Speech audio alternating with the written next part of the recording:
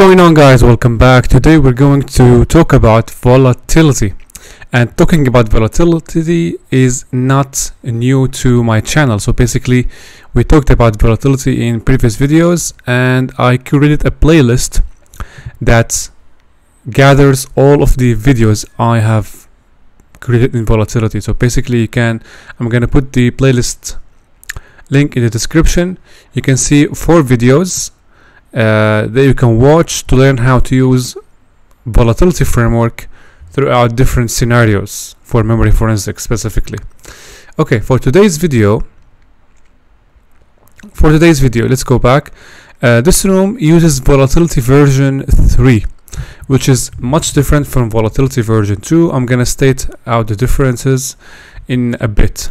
So basically what you are going to do guys uh, you have two options either install volatility using the instructions in here or launch the attack box okay? Connect to the attack box and then from here I guess or this step. Use SSH to connect with the machine. So I'm gonna use SSH now to connect with the machine on this address. So from the attack box SSH THM analyst at and the password is infected. Okay so right now uh, go to opt. And here you will find the directory that contains the volatility installation. Cd volatility 3 and there you go. This is the file that we will be working with. Now technically the challenge in this task which is under task 10 the challenge comprises two scenarios or two memory dumps. These memory dumps can be found under CD, scenarios, CD investigations, and we have two memory dumps.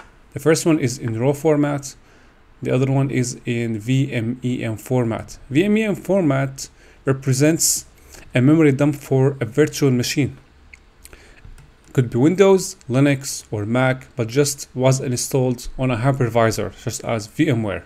Okay, so let's go back.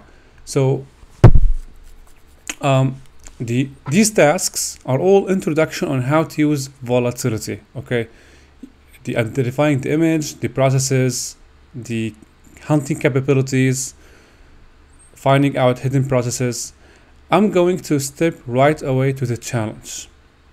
Since I have done previous videos about how to use volatility, in addition, previously I created a note file to illustrate the process of memory forensics. You can find this file in mine. If you are subscribed to the channel, to the tier 2 membership, you can find this file in the uh, notes, Google Drive notes. So basically, let's go back now. So i've explained guys previously how to use volatility. Let's now step to the challenge immediately. So we have two cases. Case one 001 bob this is not a horse. And case two that kind of hurt my feelings. So let's start with case one. Your SOC has informed you that they have gathered a memory dump from a quarantined endpoint thought to have been compromised by a banking trojan okay so we have a machine compromised by a banking trojans. Obviously we are talking about a bank maybe or a financial uh, institution. Now the banking trojan was masquerading as an adobe document. So basically uh, maybe the uh, operator working on the endpoint has received an attachment in pdf okay they opened the attachment and their machine has got infected since so we are talking here about Adobe document. Your job is to use your knowledge of threat intelligence and reverse engineering to perform memory forensics on the infected host. You have also been informed of a suspicious IP address in connection to the file that could be helpful. So basically, there's just saying that this uh, file, the Adobe document, might be initiating uh, communications with a C2, uh, C2 server. The C2 server address is this IP address. So this is also helpful.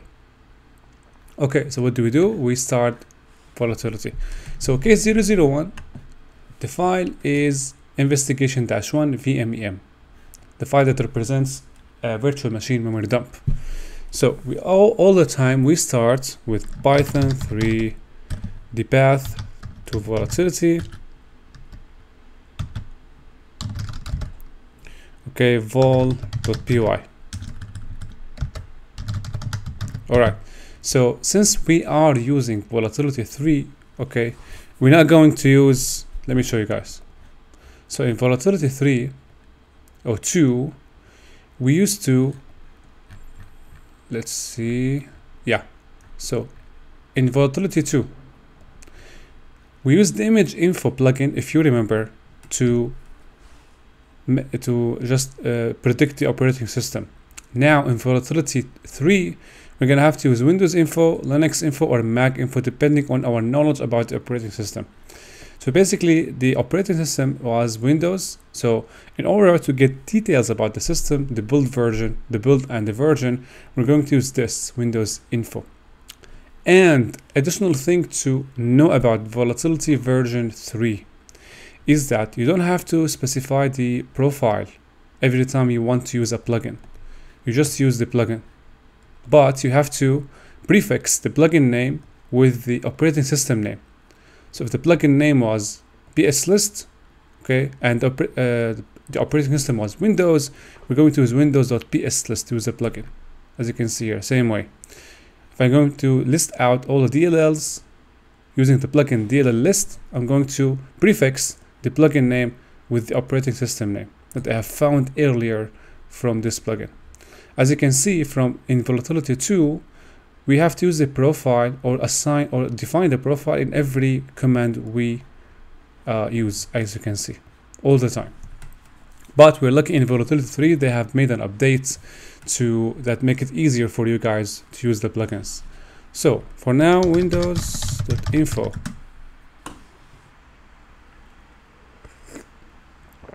Let's see, we have an error here. Yeah, so basically, let's take a look. Yeah, we haven't, uh, let's clear. We haven't specified the file, the memory dump file, dash F, using dash F, and then here investigation um, this is something okay ls so dash f the investigation file name is this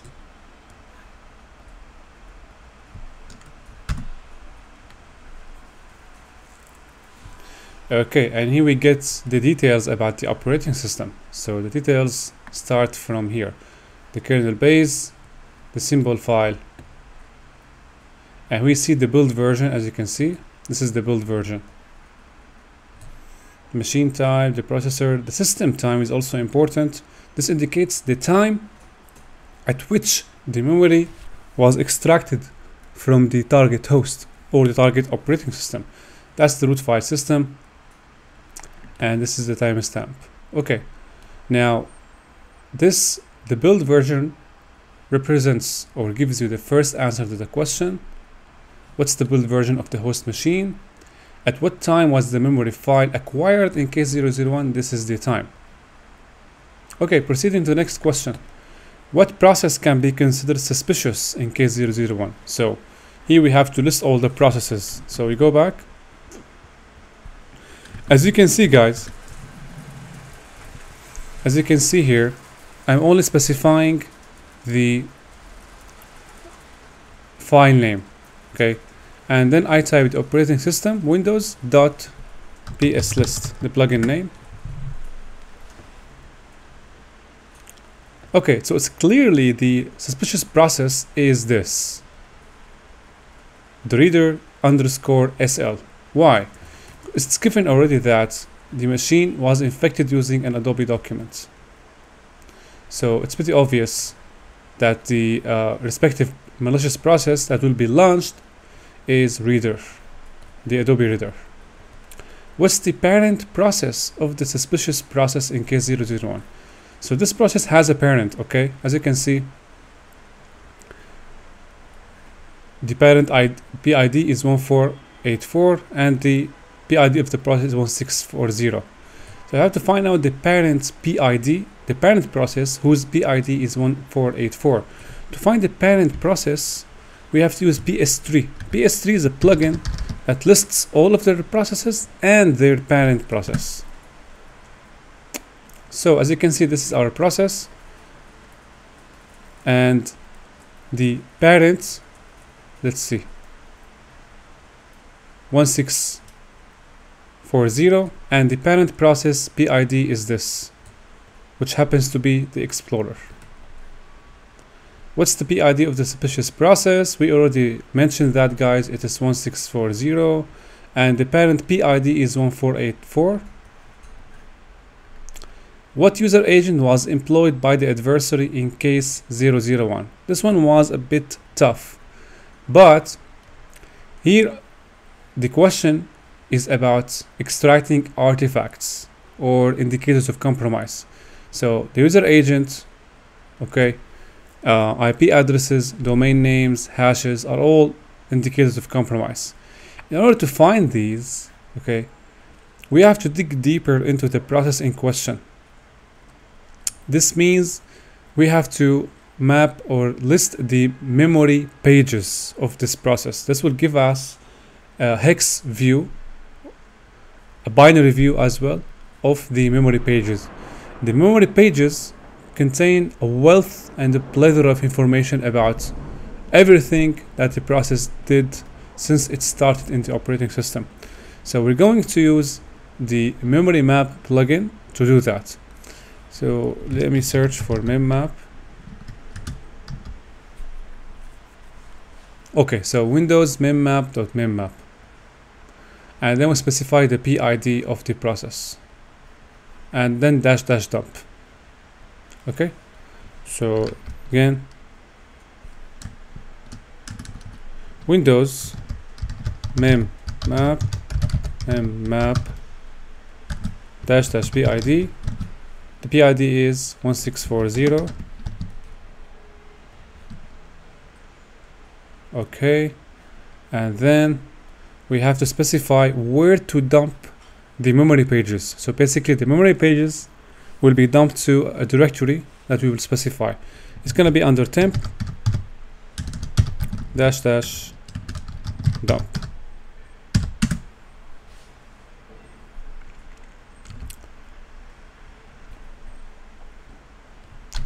Dash O, forgot the dash O. Let me see.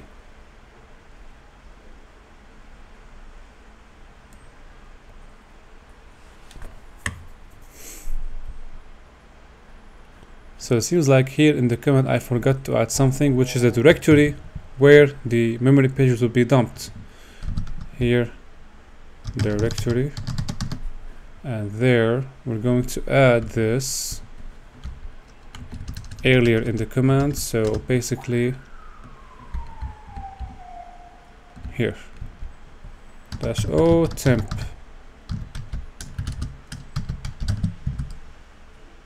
Still this is not working. Unrecognized arguments. Dash O output directory.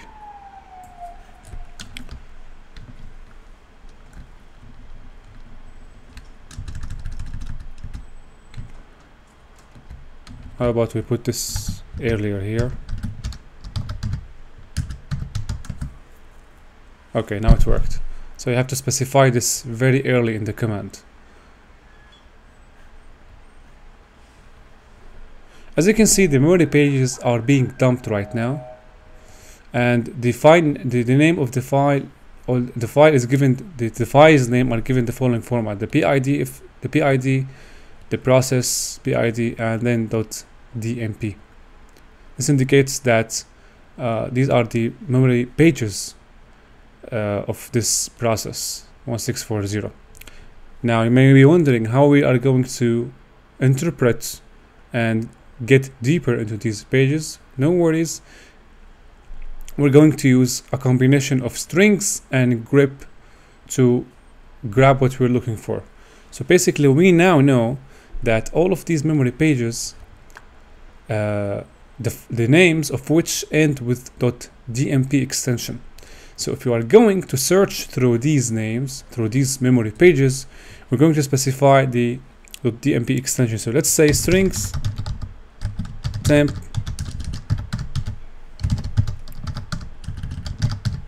So this command will output all of the strings, okay,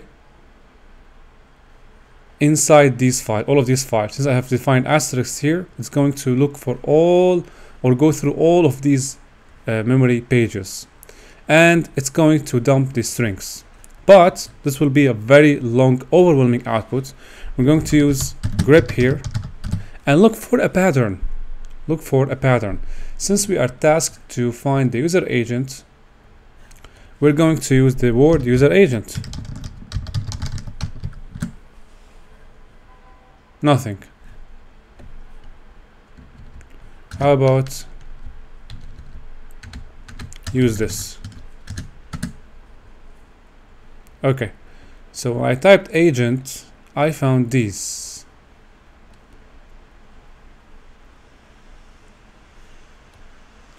But I haven't found user agent. Let's try user.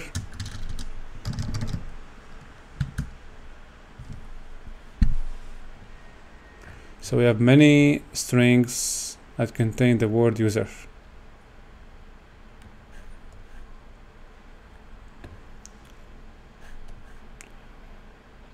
But for some reason I cannot extract the user agent. Let's see here.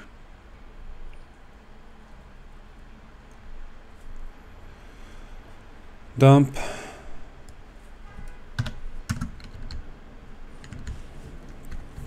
Okay let's use dash i option.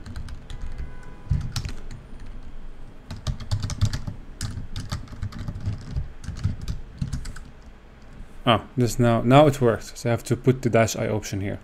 As you can see we have extracted the user agent. And this user agent represents one of the artifacts let me say of the compromise now, was Chase Bank one of the suspicious bank domains found in case 001? Again, we are extracting the, art, uh, the artifacts and IOCs. So to find these, we are still uh, in need to look into the memory pages. So instead of looking for a pattern of user agent, since we are tasked or we're asked to find uh, the domain name, so basically we're going to use HTTP maybe what's gonna be a long output I guess? Yeah so many things in here. We're given the name of the bank Chase so how about we type Chase here? And we see some patterns. Chase online. Chase online. So yes the bank name was found here. So was Chase Bank one of the suspicious bank domains found in case 001? Yes. So it looks it looks uh, like guys the uh, the attacker has sent the victim a link to a fake banking page where the victim downloaded the Adobe document from this domain. So this domain represents an indicator of compromise if you are analyzing or using this for threat intelligence, you're going to take this domain, reverse uh, look up the domain, extract the IP address, and then insert this into your uh, firewall or some or, or, another IDS machine that you are using. Okay, so that's for case 001. Let's now step to case 002. Clear. So case 002, the file is in raw format. So let's construct first the volatility command.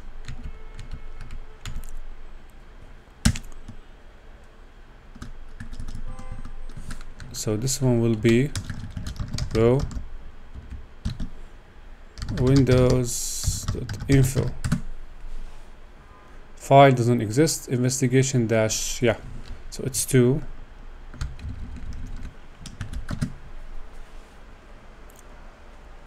Okay. Starting. What suspicious process is running at PID 740 in case 002? So let's list out all of the processes. PS list. now try to find the suspicious process guides without paying attention to the PID given. So if you look at the list here, we see WANA decryptor. WANA decryptor is a very prominent process name for the WannaCry ransomware. So it's very clear that this is the answer. What's the no, what's the full path of the suspicious binary in PID 740? So the question here is to find the suspicious executable file connected to this process. The only way to find this is to list out all of the DLLs. So DLL list dash dash PID. The PID is 740. Scrolling up, the first line The first line contains, as you can see, the process base and the file. This is the, the file or the executable file that once launched will start this process. And this is the answer. What's the parent process of PID 740 in case 002? The parent process. Okay, so so we're going to do here, we're going to use pstree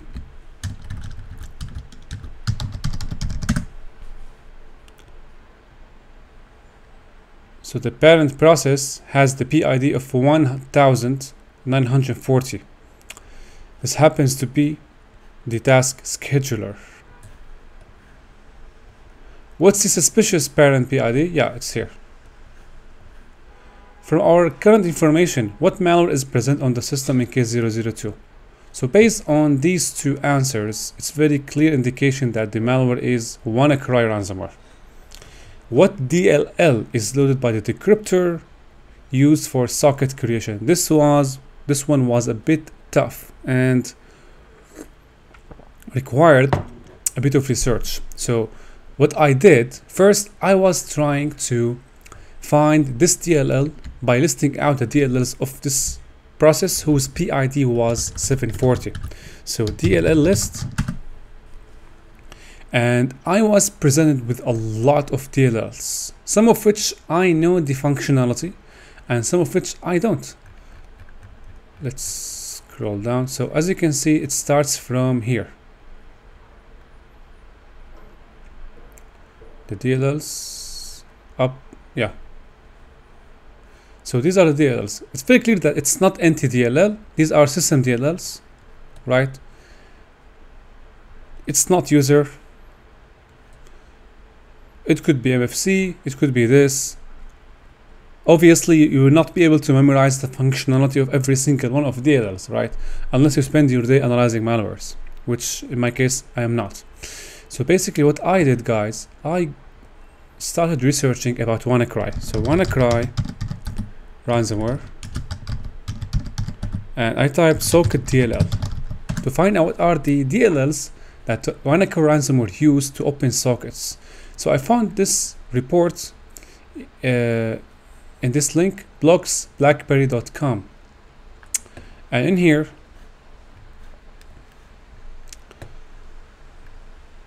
the author or the authors have done a great job analyzing the WannaCry ransomware using reverse engineering. So without looking into all of this, I just searched for the word DLL. So WannaCry is highly modular in composition, comprising the following components. So we have one payload, loader DLL. We have the Wanna, you have the ransomware payload, DLL as well, but it's encrypted. And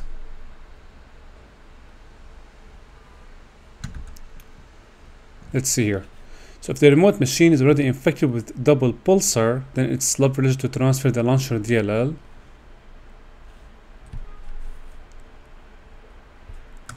okay not here. Launcher DLL not this one. We need to find the socket DLL so we have several DLLs here the complete list of dropped files as follows not socket DLLs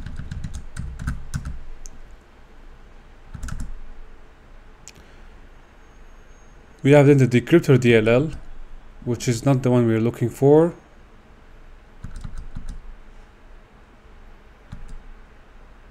yeah this one is the ransomware decryptor DLL. We don't want this. Other DLLs we might be looking for. Let's see. Yeah. As you can see, we have these. WS2 underscore 32 connect, send, receive. It's very clear that this DLL was used or was loaded to open sockets. And it is listed here. If you see, if you look again, as you can see, this DLL is found in the list of the DLLs loaded by the ransomware. So that's your answer. What mutex can be found?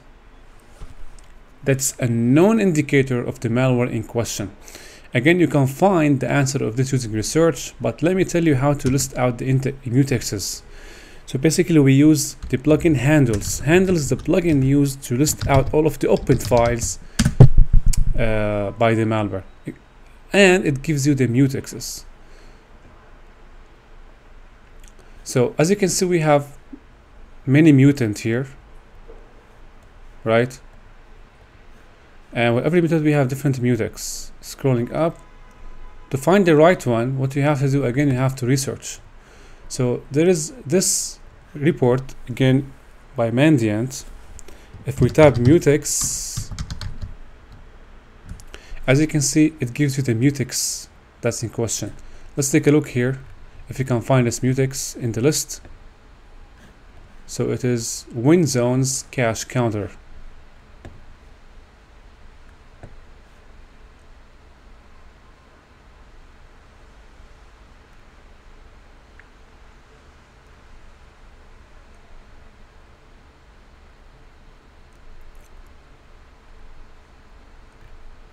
Where is my mutex?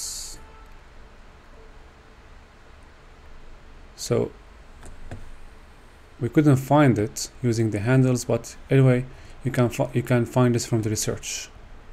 And the last question what plugin could be used to identify all files loaded from the malware working in direct work are what? Loaded from the malware working directory. So at first I thought it was handles because handles shows you the open files, but it was file scan, which is another plugin you can use to show the files loaded by the malware. So guys, that was it. I hope you enjoyed the challenge and I will definitely see you in the next video.